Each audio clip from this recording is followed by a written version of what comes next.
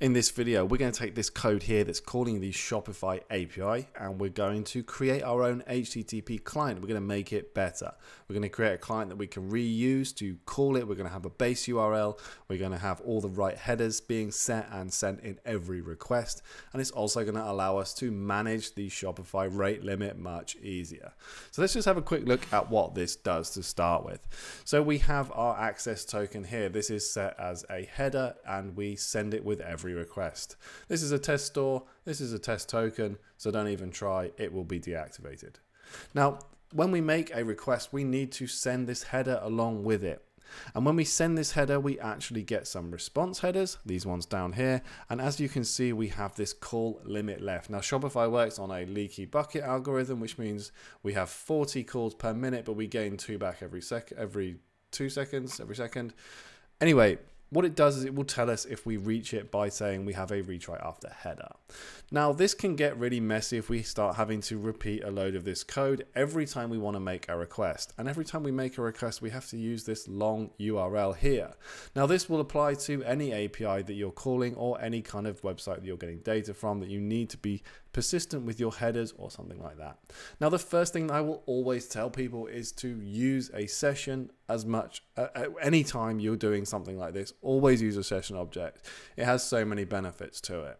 But we can go one step further and we can look at subclassing and inheriting from the request session class and customizing it to our liking. So let's go ahead and create a new file.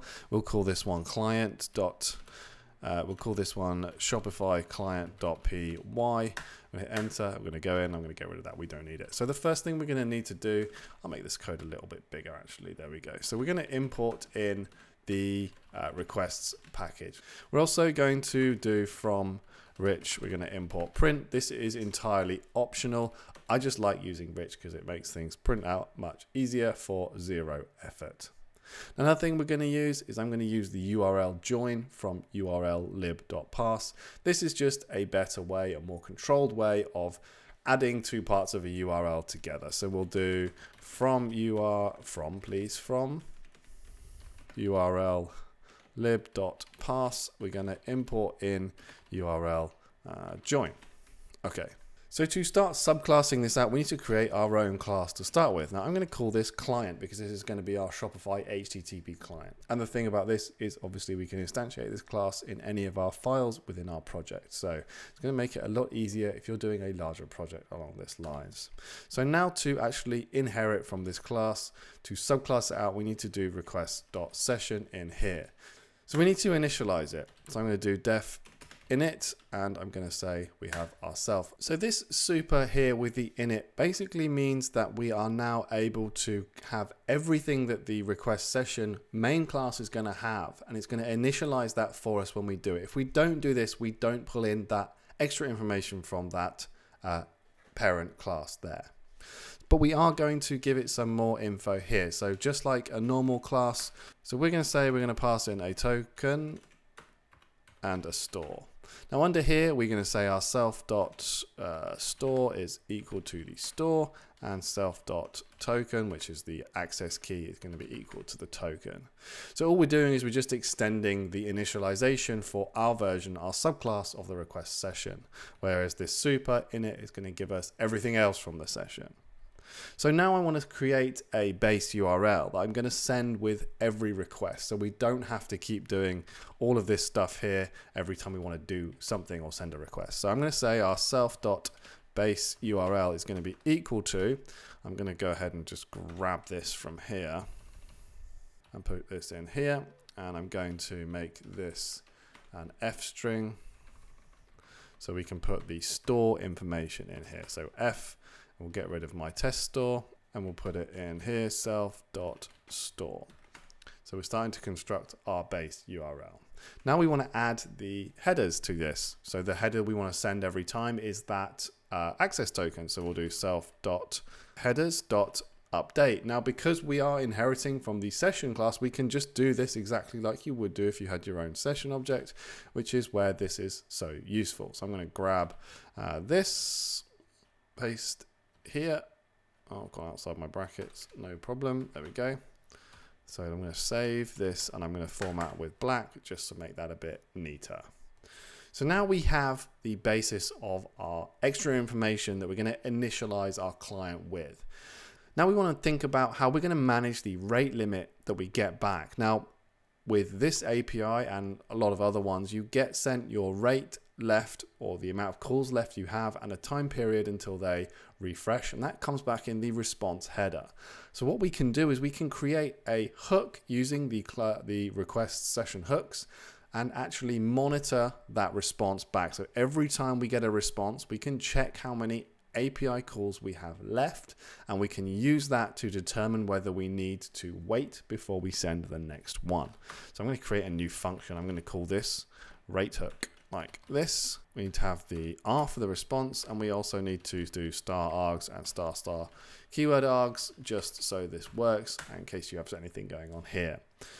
So as I went through, as I showed you in this one here, what we're doing is we're just basically um, checking if this key exists in the headers and then we're printing out the uh, rate limit that we have. Normally I would suggest logging this, but I'm going to keep it as a print statement so we can see what's going on. And then we're going to check to see if we have this retry after. Now I read through the documentation and we only get this retry after header if we have hit the maximum requests and we also get this 429 status code. So this part is not necessary but handy to have and this part is useful and it's going to let us work with this. So what I'm going to do is I'm going to copy all of this down here. Let's get that properly indented and then we're going to add it into our session so we can do self dot uh, hooks because this is a session object. Do this on the response. Let's put this in the middle of the screen and dot append to add a new hook and we only have one so we can just do rate hook here like this. So every time we have a response, we're going to call this rate hook and it's going to check for us and sleep if we need to.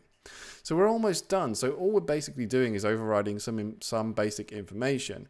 But as you'll know, we've got this base URL we need to do something with. Now to add this to every request, we actually need to modify the request method on the client session, on the request session.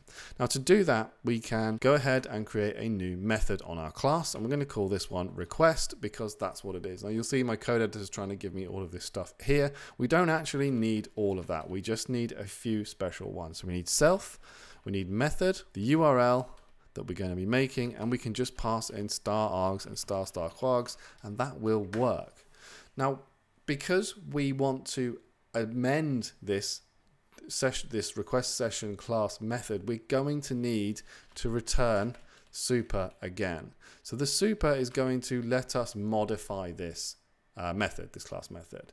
Then we can then do request and we'll say we want to return the method, which is going to be the get or post or whatever. Now we're going to use our URL join and we give that two arguments. The first one is going to be self.base URL and then the second one is the URL that we're going to give it when we actually access this method, when we use it in our code. Then we just pass in our um, arguments and our keyword arguments in case there were any in that respect. All right, so let's just quickly recap what we've done. We're creating a new class which is going to inherit, it's going to subclass the request session object, the request session class. When we initialize that, we also need to use super init, which is going to initialize the parent class that's going to give us access to everything that we need.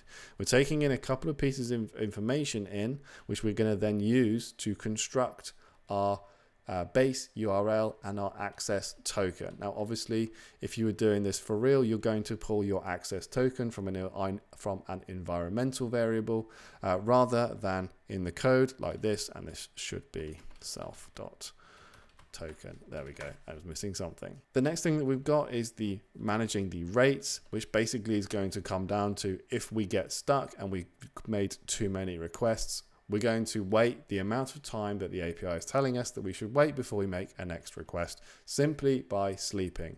Now, this is a bit messy because I've got int float because this headers here is a string, which is a string 2.0. So we turn it into a float to turn it into an int, a bit messy. Then we apply the hook. We're then modifying the actual request method. The main thing we're doing here is we're saying, hey, when we actually call this, we're going to add in this base URL every time like this. So let's try it. So let's go ahead and create a, uh, we'll just do if name is equal to main, so it's a bit tidier. And we'll basically just say our client is going to be equal to a client. Now this is going to take in a store, which is going to be equal to a string. We'll use my test store and a token, which is going to be equal to the token, which I just removed from the code here. We'll just go grab that from here again. There we go. ended up with one too many quote marks. Let's remove that. Let's put this in the middle of the screen. Great. Right, so let's do our response is equal to client dot get, and we need to give it the uh, partial URL, which I think is going to be products. Again, let me just grab this from over here. That will just see this one. We'll use this as testing again. Um, let's do paste that in there. So now let's save, and we'll just print out uh, print out the response.json that we get back from this request. And let's try it out. So I need to activate my virtual environment. And we'll do Python 3 subclasses. And this was Shopify client.py. There we go. So you can see that our print statement has given us the rate of 1 of 40 left. That's one of our 40 calls we've just used. And we've got the information back, which is the product ID and the name, which, which is what we asked for for this specific information. So if you look how simple this one line here is compared to this one here, you'll see that we basically have now by subclassing the request session, we've made our lives much easier every time we want to make a call to this store. And we made it so that we can use this client on many Shopify stores because we're passing in the store information and the token. Again, get your token from an environment variable and don't do this and this token will not work anymore. So hopefully you have enjoyed this video and kind of understand now how you can subclass different classes to modify them, modify the methods to bend them to how you want them to work. If you've enjoyed this video, I got another one right here, which I think you'll like too.